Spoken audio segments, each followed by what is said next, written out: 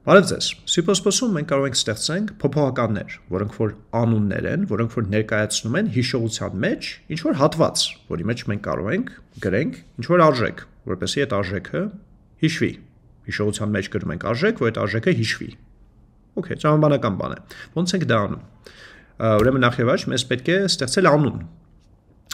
Եկեք ստեղծենք, չգիտեմ, x, ինչու՞ չէ, որպես անուն։ Okay, բայց դա հերիք չէ։ Բացի անունից մենք նաև պետք է նշենք, թե ինչ տիպի արժեք ենք մենք դնելու այդ ուրեմն փոփոխականի մեջ։ Եկեք ենթադրենք ամբողջական թվեր ենք դնելու, նենց որ դիմացից գրենք int։ Կամ բան։ Այսինքն ստեղ մենք ստեղծեցինք մի հատ փոփոխական, որի անունը x է, որը իր մեջ կարող է պահել ամբողջական թվեր իրականում C++-ին երբ որ մենք ասում ենք int, այսինքն ինքը հասկանում է թե ինչքան տարածք պետք է ամրագրի հիշողության մեջ, այնց որ շատ-շատ կարևոր է։ Okay, հիմա այս x-ի մեջ մենք կարող ենք դնենք արժեք, բայց ո՞նց դնենք արժեք։ Այսպես, գրելով հավասար է 7, օրինակ։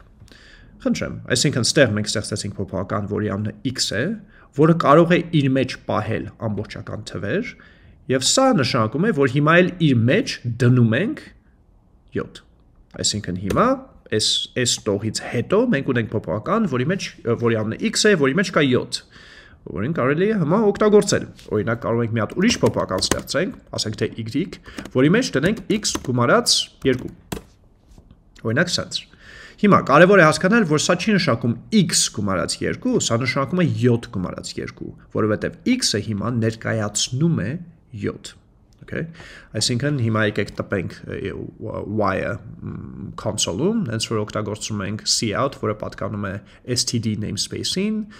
կամ խմբակին հենց որ std պատկանող cout-ին մենք ուղարկում ենք ուրեմն իրան օգտագործելով ուղարկում ենք y-ը որից հետո ուղարկում ենք std and l որպեսզի անցնի հաջորդ տողին Այդքան բան հիմա եկեք compile անենք, այսինքն թարգմանենք այս ծրագիրը եւ աշխատացնենք նրան եւ ստանում ենք 9, խնդրեմ, այսինքն 7 գումարած 2։ Ամ հիմա Կարող է հասկանալ, որ բացի նրանից, որ մենք կարող ենք դնենք իր մեջ x-ի մեջ արժեք ամիջապես, մենք կարող ենք այդ միտքը փոխենք, հետո ապագայում ասենք գիտես ինչ 7 չի ուզում, այլ ուզում եի դնել, չգիտեմ, 10։ Okay քանի որ մեծ ծրագիրը աշխատում է վերևից ներքև, ինքը նախ կստեղծի x-ը իր մեջ կդնի 7, հետո կփոխի այդ արժեքը եւ կդնի 10, այսինքն այս տողից հետո x-ը ներկայացնում է 10։ Հետևաբար, ստեղ երբ որ ստեղծում ենք y-ը, y-ը, իր մեջ դնում ենք 10 գումարած 2-ի արդյունքը, այսինքն 12, չէ՞։ Եկեք աշխատացնենք։ Խնդրեմ, 12 Okay։ Հիմա հերթականությունը փոփոխականների թե մենք ոնց ենք արտահայտում, կարևոր է, որտեղ մեր կոդը աշխատում է վերևից ներքև։ Օրինակ մենք sense բան, նայեք, sense չենք կարող անենք։ Ինչու՞ չէ, որովհետև դե առաջին տողում ստեղծում ենք x-ը, իր մեջ դնում ենք 7, ստեղ x-ի մեջ դնում ենք 10, ստեղ օգտագործում ենք y։ Y-ը ի՞նչ է։ Այդ y-ը մենք ստեղծում ենք իրանից տակ, մենք չենք կարող, okay, սա չի կարելի։ Այսինքն սա, եթե մենք փորձենք աշխատացնել, compile անեմ, տեսնում եք ինքը սխալներ է տալիս, ասում է, հոպ, ցած բան չի կարելի, նենց որ հերթականությունը իրականում կարևոր է։ Նենց որ եկեք սա էլի հետ դնենք ստեղ։ Okay։ Հիմա բացի դրանից, մեծատար փոքրատար կարևոր է okay այսինքն ես կարող եմ հիմա ուրիշ փոփոխական ստեղծել int մեծատար y իր մեջ տնեմ 5 Սա եւ սա տարբեր փոփոխականներ են։ Նենց որ զգուշ եք, okay, օգտագործելուց մեծատար փոքրատար դա կարեւոր է։ Ամ okay, էլ ինչ։ Բացի այդ ամենից մենք կարող ենք ստեղծենք, մի րոպե,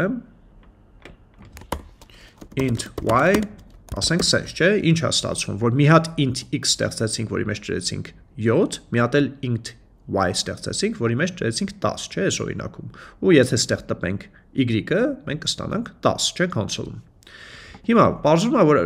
բաց եթե երկու փոփոխական ենք ստեղծում, երկուսն էլ նույն տիպի ենք, մենք կարող ենք իրենց ստեղծենք այսպես։ Սա նշանակում է, որ մենք ստեղծում ենք մի հատ int x, որը 7 է, եւ մի հատ էլ int y կամ y, որը 10 է, okay? Այսինքն սա էս կոդը եւ սա նույն բանն է։ Okay, իրական տարբերություն չկա։ Տենց էլ կարող եք գրեք, տենց էլ կարող եք գրեք։ Հիմա ստեղ որ ստեղծեցինք փոփոխականներ, ընդհանրապես գրեցինք XY, բայց իրականում փոփոխականների անունները կարող են լինեն ավելի հարուստ, այսինքն ավելի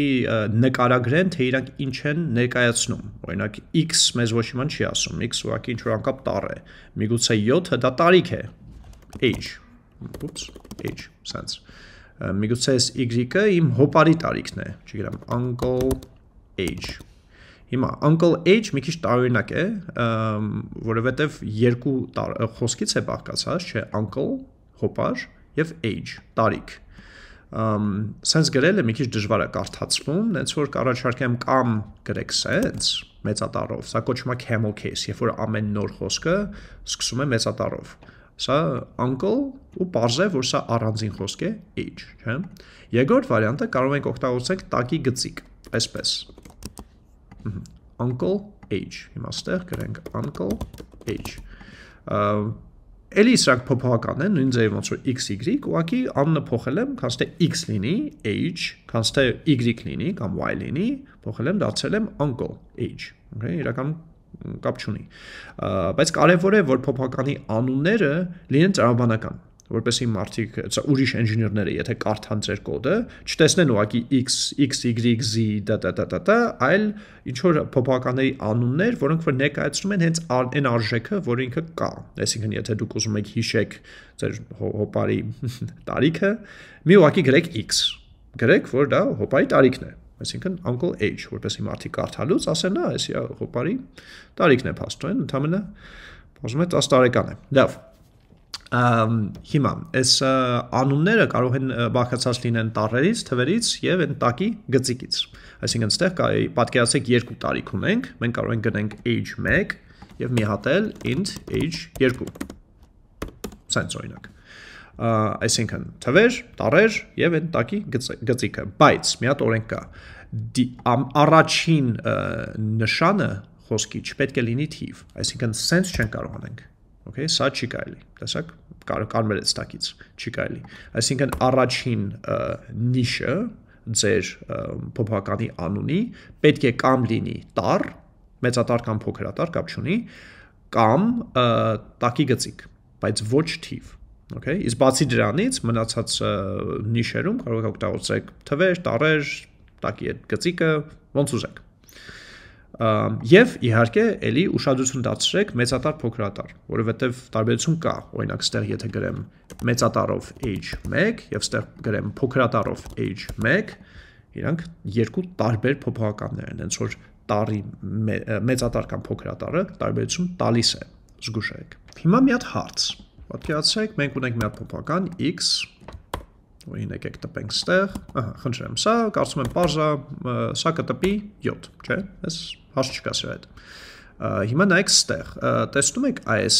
այս խուճուճ փակագծերը։ Սա ուրեմն սա նշանակում է, որ մեր կոդի ոնց որ այս կոդի այս հատվածի սկիզբն է եւ այս հատվածի ավարտն է, չէ՞։ Բարձում է, որ այն այս հատվածը կոչվում է բլոկ։ Okay բլոկը դա այն հատվածն է, որը ունի սկիզբ եւ ավարտ։ Ես սկիզբ եւ ավարտը նշվում է այդ խոճուճ փակագծերով։ Okay։ Դա նշանակում է, որ մենք ելի կարող ենք ստեղծենք բլոկ։ Օրինակ, եկեք ստեղ մի հատ բլոկ ստեղծենք։ Գիտեք ինչ, եկեք այդ բլոկի մեջ եւս մի հատ բլոկ ստեղծենք։ Ինչ է ստացվում, որ սա մի բլոկ է, որը ունի ներքին մի հատ այսենց բլոկ, որը իր մեջ ունի եւս մի հատ sense բլոկ։ Հիմա հարց։ Եթե ես հիմա ստեղ փորձեմ սենց բան անեմ։ Տպեմ x-ը այս բլոկում։ Ինչ կստանամ։ Եկեք տեսնենք։ Ուրեմն compile անեմ։ Կստանամ 7, չէ՞։ Նու 7-7, առաջին 7-ը ստեղ էր, երկրորդ 7-ը ստեից է գալիս, չէ՞, 7-7։ Ամ եկեք ես հանեմ, ոչ շփոթվենք։ Okay, դա པարզ է։ Իսկ ինչու։ Որովհետև սենց է աշխատում, նայեք, երբ որ մենք նկատում ենք ինչ-որ փոփոխական, ինչ-որ x, նախ ստուգում ենք այս բլոկի մեջ ու ուշադրություն ենք դարձնում։ Կա x այս բլոկի մեջ ստեղծված։ Ну չկա, չէ՞։ Okay, այդ ժամանակ գնում ենք մի հատ վերև եւ ծնող բլոկն ենք ուսումնասիրում։ Այսինքն ուսումնասիրում ենք այս բլոկը։ Ստեղ կա x ստեղծված։ Չէ, չկա, հենց որ գնում ենք ծնող բլոկի մեջ ուսումնասիրում ենք այս սա։ Ստեղ կա x, այո, կա հեսա, որի արժեքը 7 է, չէ՞։ Հետևաբար ինքը տպում է 7։ Չէ, դա կարևոր, որտեվ պատկերացրեք, օրինակ S բլոկում ես ստեղծում եմ մի հատ ուրիշ x։ Հիմա ինչ կտպի։ Դե էլի, եկեք անցնենք այս քայլերով։ Ուրեմն նախ եւ առաջ, երբ որ տեսնում ենք այս x-ը, ուսումնասիրում ենք իր բլոկը։ Կա x ստեղծված, ինչ որ փոփոխական ստեղծված այս բլոկի մեջ։ Չէ, չկա։ Ինքը օգտագործում ենք x-ը, բայց ինչ որ փոփոխական չկա ստեղծված։ Կա ստեղծված փոփոխական ստեղ, հա, հեսա, int x, հեսա ստեղ ստեղծել ենք փոփոխականը, որի արժեքը 20 է։ Հետևաբար ինքը ստեղ կտպի 20 եթե ինքը մի հատ էլ ներքին մի հատ փոփոխական ունենար, օրինակ 100, sense այս այս օրինակում ինքը կտպեր 100։ Ինչու էլի x-ը տեսանք, չէ՞։ Նախ եւ առաջ ուսումնասիրում ենք մեր բլոկը եւ նկատում ենք, որ մեր բլոկի մեջ կա x ստեղծված, որը 100 է։ Հետևաբար սա կտպի այ s x-ի արժեքը, ոչ թե այս կամ այս x-ի արժեքը, այլ հենց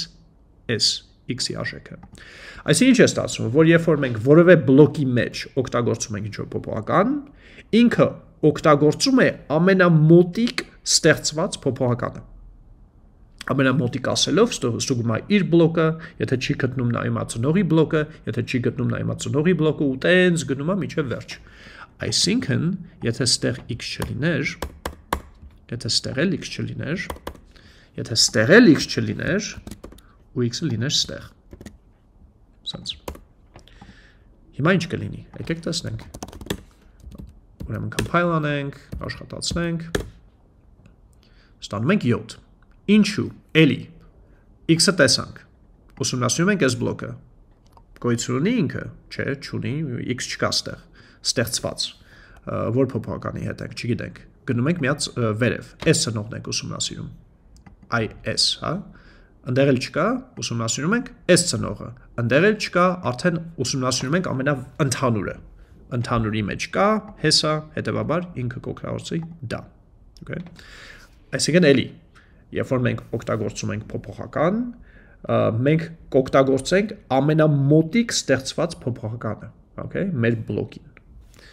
Հիմա մի հատ էլ բան կա։ Պատկերացրեք,